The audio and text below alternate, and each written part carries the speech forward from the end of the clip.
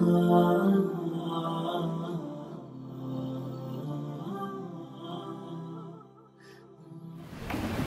الحمد لله نحمده ونستعينه ونستغفره ونتوب إليه ونعوذ بالله من شرور أنفسنا ومن سيئات أعمالنا إنه من يهده الله فلا مضل له ومن يضلل فلا هادي له وأشهد أن لا إله إلا الله وحده لا شريك له ولا إله غيره ولا رب سواه. أول بلا ابتداء دائم بلا انتهاء. لا يفنى ولا يبيد ولا يكون إلا ما يريد. لا تبلغه الأوهام ولا تدركه الأفهام ولا يشبهه الأنام. حي لا يموت قيوم لا ينام ولا ينبغي له أن ينام.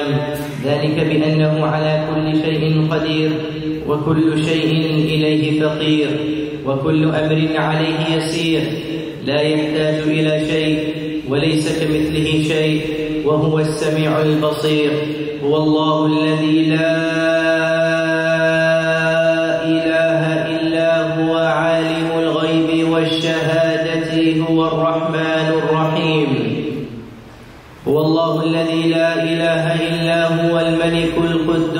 السلام المؤمن المهيمن العزيز الجبار المتكبر. سبحان الله عما يشركون هو الله الخالق البارئ المصور له الأسماء الحسنى. يسبح له ما في السماوات والأرض وهو العزيز الحكيم. وأشهد أن محمدا عبده ورسوله. وصفيه وخليله وأمينه على وحيه ومبلغ الناس شرعا ما ترك خيرا إلا دل الأمة عليه ولا شرا إلا حذرها منه فصلوات الله وسلامه وبركاته عليه وعلى آله وصحبه أجمعين. أما بعد فإن أصدق الحديث كلام الله وأحسن الهدي هدي محمد صلى الله عليه وسلم وشر الأمور محدثاتها وكل محدثة بدعة وكل بدعة ضلالة وكل ضلالة في النار ثم أما بعد Indeed, the best of the words are the words of Allah subhanahu wa ta'ala. And the best of the guidance and the only accepted guidance in Islam is the guidance of the Prophet sallallahu alayhi wa sallam. And the worst of the matters are the newly invented matters in Islam. And every newly invented matter in Islam is indeed an innovation. And every innovation will indeed misguide us, and every misguidance will take us to one destination. جهنم وساءت مصيرا أعاذنا الله وإياكم منها قولوا آمين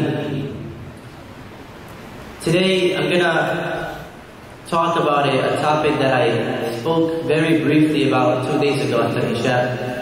So the brothers that were here after Isha may hear some repetitive points, but I, will, I want to expand on it a little more to expand and for those who are not here to benefit from this topic inshallah. And that was the topic of stating how we all need to have the akhlaq of the Prophet sallallahu alaihi wasallam. And that the Prophet sallallahu alaihi wasallam he mentioned in a hadith قال أقربكم مني منزلا أحاسنكم أخلاقا that the closest ones to me in Jannah on Judgment Day will be the ones with the highest akhlaq, highest levels of respect and manners. Those are the closest ones in, in place, physically, next to the Prophet ﷺ in Jannah. And the Prophet ﷺ is in the highest rank of Jannah. So if you can be, if you want to be as close as, as you can to him, you have to have very high level of akhlaq and manners. SubhanAllah, Al-Qa'qa' is one of the Salaf and the scholars, he was asked. They told him, Ya Imam, قُلْ لَنَا فِي الْجَنَّةِ شَيْئًا يُشَوِّقُنَا إِلَيْهَا Tell us something about heaven, about paradise, that will really motivate us and make us really want to go to Jannah. Now subhanAllah, if someone would ask you this question, you would tell him, you know, many ahadith and you have this and you have this and you have that. But he gave him one word, قال فيها رسول الله صلى الله عليه وسلم. That heaven has the Prophet عليه الصلاة والسلام. That should be enough motivation for you to try on an everyday basis to have that goal to be next to the Prophet alayhi salatu wasalam. طيب, the akhlaq, Aisha radiallahu ta'ala anha, when she was asked about the Prophet ﷺ's akhlaq and how he was, قالت كان قرآنا يمشي. He was a walking Quran. One should imagine, this Quran is filled with adab and manners and respect and everything else that you can possibly think about. It is a way of life. It teaches us how to perfect our life if we follow it in the same exact way that we are told to follow it. And this man, sallallahu wasallam, was a walking example of everything in the Quran. And for you and I, for example, we may follow some portions of the Quran, the things that we want and what we like. But he salam, wouldn't pick and choose. He would follow the whole entire Quran as it is. For the point that I want to talk about, as I mentioned, is a hadith. And this hadith that made me think about it was an incident that happened in this masjid. The Sahaba used to go to the Prophet ﷺ and they would tell him, Ya Rasulullah, I want to talk to you about this individual, or that individual, or that person, or that person. Sometimes it's really to seek advice, and sometimes there are people that just have that desire of finding something to talk about, and if there's nothing to talk about but a certain individual, brother or sister, they will talk about it. And the Prophet ﷺ responds to this, to these companions would tell them, this would be early in the morning, he would tell them, لا تحدثوني عن أصحابي شيئا فإني أحب أن أخرج إلى أصحابي وأنا سليم الصدر. Look at this akhlaq for a second. He would tell the companions, please just stop right here and don't tell me anything about my companions, my friends. Why? Why don't you want to hear about these people? قال فإني أحب أن أخرج إلى أصحابي وأنا سليم الصدر. I want to go out and meet them and see them the same way I seen them yesterday, the day before, in the last few years. I don't want what you may tell me possibly change my view of that individual. And I'm gonna, the same way I asked the brothers in Isha a few days ago, I'm gonna ask everyone sitting here today, a lot more people. How many times, please, how many times has someone told you something about another person that you, that really shocked you? And you, without verifying or seeing it yourself, you, your perception and your view of that person changed. How many people have we lost in our lives, friends and family members, because of things that people told us? And we end up regretting it later on. Allah says, يَا أَيُّهَا الَّذِينَ آمَنُوا You who believe, إِنْ جَاءَكُمْ فَاسِقٌ بِنَبَإٍ If someone were to come to you with any type of story, قال فتبينوا and in another riwayah or qira'ah because there are different qira'at in the Quran فتثبتوا verify deeply about this information أن تصيبوا قوما بجهالة فتصبحوا على ما فعلتم نادمين so that you might you might accuse or yes accuse that person or slander that person out of ignorance and you end up regretting it someday now, it's one level of Iman to verify, to follow the Quran's aspect of verifying. And there's a higher level of not even verifying. You know what? I'm not going to verify. I'm going to continue seeing him the same way or her the same way. And if it ever happens, I will deal with it when it happens. A higher level than that is if you ever see it happen from him or her, what do we do? First thing you do is give that person the highest level of benefit of the doubt. Husn al And subhanAllah, there's a brother sitting with us here today, may Allah reward him, he knows who he is. After I mentioned this incident last week or two days ago, I honestly, yani for a second, I didn't have that person of that benefit of doubt in my heart. Until he reminded me of a point that I was completely ignorant about. What is this incident that I keep mentioning? There was a brother a few, maybe two weeks ago, a very close brother of mine in the masjid that prayed with us. Two weeks ago, he's been telling me before Eid that he wants to bring me a thobe, a thobe as a gift. And two weeks ago, he brought, he bring me this thobe. I see him, mashallah, was very nice, but it was extremely long. So I told him, you know, inshallah, I'll try to go find a tailor to cut it for me and make it short, and I'll wear it, inshallah. Because he told me, you know, if you don't mind, can you wear it tomorrow? And I said, well, let me get it short in first and I'll take care of it and I'll wear it. So I take the bag put it right on top of that safe over there. So it's between Maghrib, like maybe 15, 20 minutes before Isha prayer. I come and lead the Isha prayer and give the class and after the class I'm talking to and people here and there. And I'm about the, one of the last people to leave the masjid that night. And what happens? I walk towards the door, get my sandals, look on top of the safe, and what happened? Thobe is not there. So the first thing that crossed my mind was what? Okay, maybe he took it to go cut it for me and bring it back looking nice and short to my size. I let it go and I left. Two days later, I meet him again, brother, you know, did, did you take the thobe? I said, no, I didn't. I was like, well, I'm truly sorry to say this, but I left it at the safe, believing that this is a safe place, and somebody took it. Now at that point, you see right next to that, that screen, that TV right there, right next to it is a camera, facing the door directly. I could have simply walked in the office, rewinded the video to see who took it. And he himself told me that. He said, well, there's cameras, go check the cameras. And I was, to be honest, for, for a little bit, I was eager to know who did it. Not, not for any reason. Wallahi, and I told the brothers, I own, alhamdulillah, 36 thobes like this in my house. It's my uniform on a day-to-day basis. So wallahi, an extra thobe or two will not matter at all. But I just wanted to know who this person was and, and why. And I, as, as I was walking and trying to go and see the video, I automatically remember that hadith.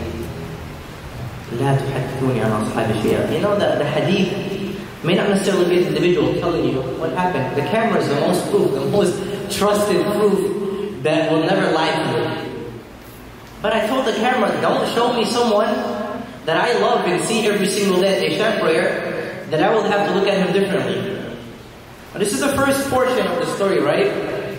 Now, the brother, may Allah bless him, who came and taught me after Isha, made a very important point of Husn al the benefit of the doubt.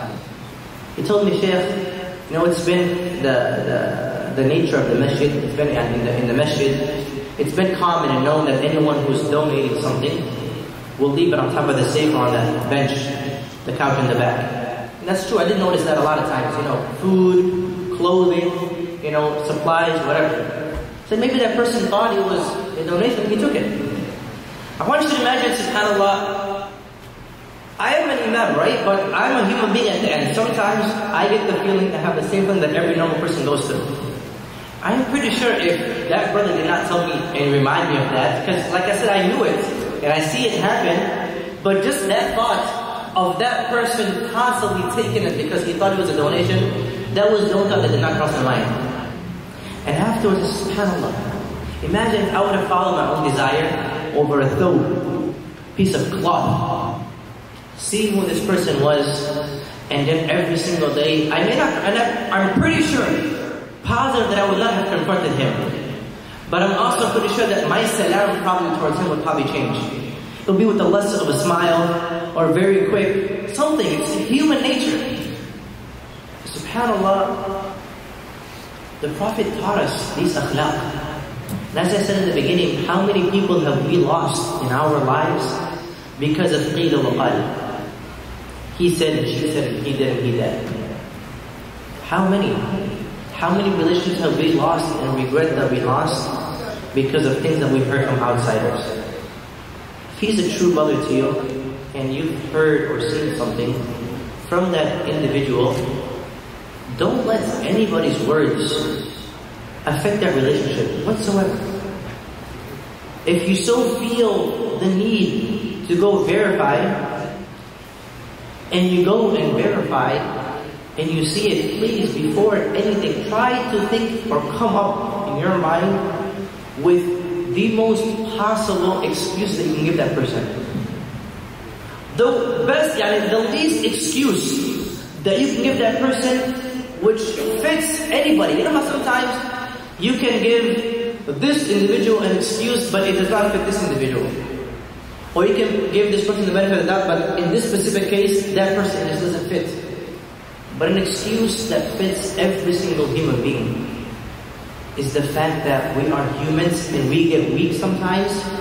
You may have a specific sin that you do that nobody knows about and you do it out of weakness. He may have that sin or that wrong that he does out of weakness. That's the bottom line. Know that you're not perfect. And if you're not perfect and nobody else around you is perfect, why sit there and blame everybody for what they do?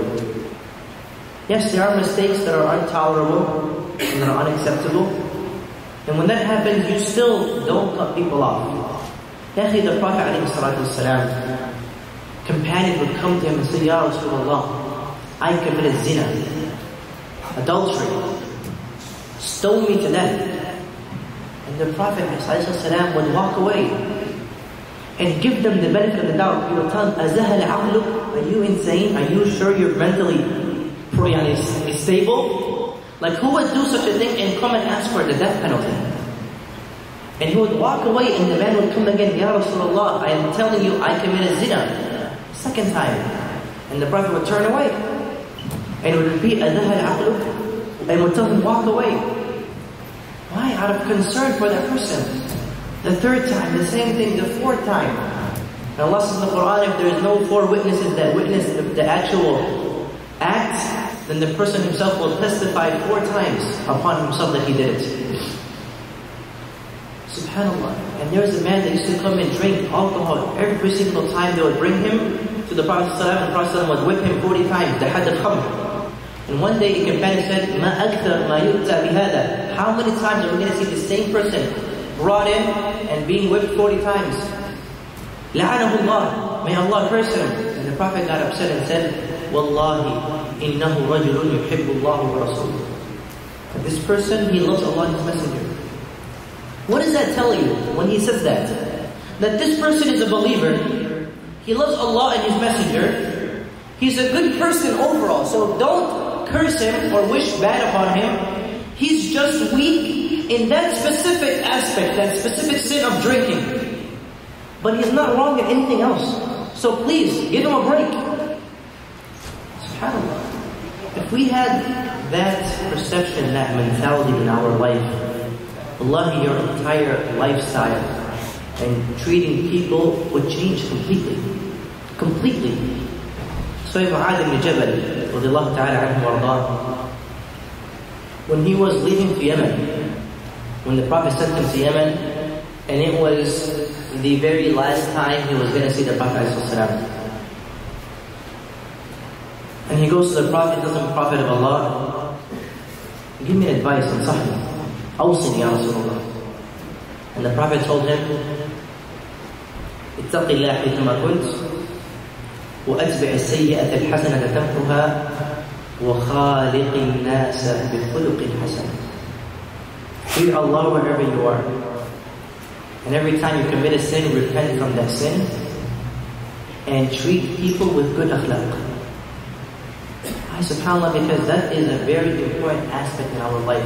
Sometimes you may think, and a lot of people have this mentality of, you know, I'm this independent person. If these people come in my life or leave, it doesn't affect me in any way or form. I don't really care. You know, these people are, are fake. They're not real people. They're not this. And they live this, this mentality. Yes, it's probably a character, you know, a, an attribute of strength. But whether you like it or not, you live on earth with these people. And these individuals, you will see them every single day. And you are obligated to deal with them and treat them. How do we treat them? بِخُلُقِ حَسَنٍ With the greatest of our akhlaq. قولوا ما سمعتم واستغفر الله لي ولكم فاستغفروه إنه هو الغفور الرحيم.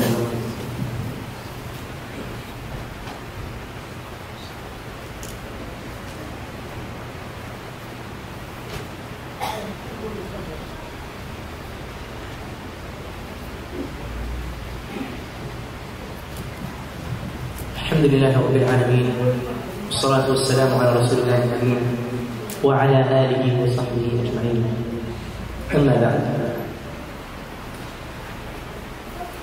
Allah subhanahu wa ta'ala mentions Surah Al-Hujurat يا أيها الذين آمنوا اجتنبوا كثيرا من الظن إن بعض الظن إثم ولا تجسسوا ولا يغتب بعضكم بعضا أيحب أحدكم أن يأكل لحم أخيه ميتا فكرهتموه until the end of the ayah.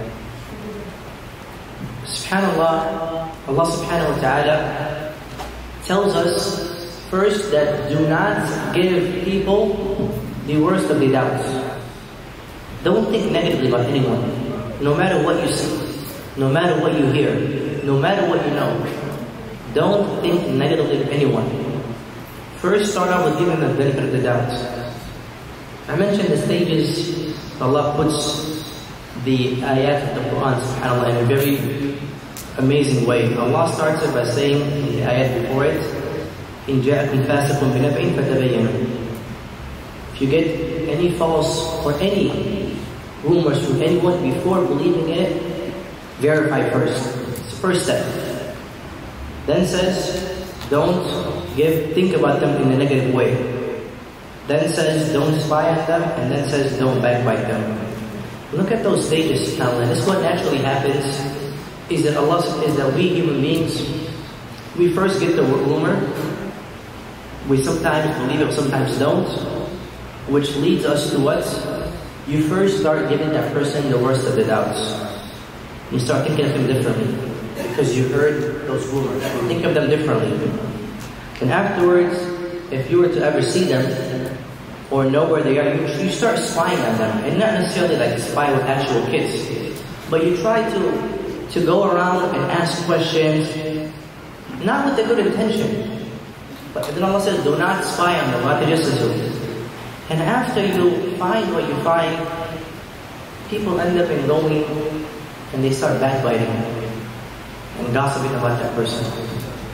A lot of people, they have this wrong understanding of the term ghibah, backbiting. They think that backbiting is saying something that is not true about this person. No, that's not it. That's fusuq, that's fisk, and buhtan Ghibah, the Prophet defines it as dhikruka akhak bima yakrah. He tells us that backbiting is an attribute that your brother has, something bad that he has. And he does not like to be described that way. And you still say it. So don't think because you heard the rumor, you went and verified or spied, you started backbiting this person. Don't think that you, when you go and talk to people about this person, hey, you know, this person turns out to be one, two, three, and four, that makes it okay for you and it's right and it's, it's permissible because it's true. No, it's not true. It's still haram. It's still haram in the same way that you want when, when or if someone finds out something about you that you would want that individual to protect you and conceal you, then do the same for others. Yaqi, the most scariest hadith that you can hear about this topic is the Prophet ﷺ, he said, لا تتتبعوا عورات الناس don't try to follow the shortcomings of people. We try to always, you know, follow it and then talk about it and try to embarrass people. قال فمن تتبع عورات الناس تتبع الله عورته فيفضحه ولو في جوف بيته الله أكبر That don't spend your life trying to expose people and talk about them. It says, therefore, he who lives his life doing that, indeed will come a day where Allah will expose your sins, even if you are in the middle of your house where no one is there at that moment, some way, somehow, you will be exposed. SubhanAllah, think about these things and treat others the way you want to be treated and know that like I mentioned, the same, you know, they have their shortcomings, you have yours. They may not be the same, but the same way you want to hide yours, hide theirs for them. And what, did Allah, what does Prophet say? من ستر أخي أو عيب أخي ستر الله عورته يوم القيامة that whoever conceals and protects his brother's shortcomings, Allah will protect him Yawm Qiyamah. When everybody's watching and will see all of your mistakes. If I ask Allah subhanahu to allow us to have that level of akhlaq and to deal with people in this aspect. And let's please try this from today. From today, have the strength and the courage that when anybody comes to talk to you about someone else, remember today's khutbah, tell him, brother, I don't want to hear it. I don't want to look at them differently. I don't want to change them, you know, have to think about them anyway. Please, let's let it go. There's so many different topics you can talk about. Like I said, it takes a lot of courage. Sometimes you end up, you don't have the strength to say it, and you end up being quiet without necessarily participating in the conversation because you may respect that person or you may not want to lose the friendship. Also remember a third hadith. Very scary hadith Prophet says that the worst of the people is the one that sees his brother doing wrong and does not forbid that wrong out of fear of losing that friendship. Wallahi. And go verify this if you want to Out of fear of losing that friendship. So sometimes you may sit there and you're afraid of losing that friendship or that respect or whatever the case may be. And you sit quiet. Just to let you know, you being in that conversation, participating or not, if you don't forbid that evil or you stop that person, you and him are the same exact level of sin. Same exact. جعلني الله واياكم من المتقين ان الله وملائكته يصلون على النبي يا ايها الذين امنوا صلوا عليه وسلموا تسليما اللهم صل على محمد وعلى آل محمد كما صليت على إبراهيم وعلى آل إبراهيم إنك حميد مجيد. وبارك على محمد وعلى آل محمد كما باركت على إبراهيم وعلى آل إبراهيم في العالمين إنك حميد مجيد. اللهم آت نفوسنا تقواها وزكها أنت خير من زكاها. أنت وليها ومولاها. اللهم اجعل عملنا كله في رضاك. واغننا برحمتك عمن سواك وعمن قلوبنا بتقواك. واجعلنا نخشاك حتى نراك إلى يوم نلقاك اللهم ربنا آتنا في الدنيا حسنة وفي الآخرة حسنة وقنا عذاب النار عباد الله إن الله يأمر بالعدل والإحسان وإيتاء ذي القربى وينهى عن الفحشاء والمنكر والبغي يعظكم لعلكم تذكرون واذكروا الله يذكركم واشكروه على نعمه يزدكم ولذكر الله أكبر والله يعلم ما تصنعون Oh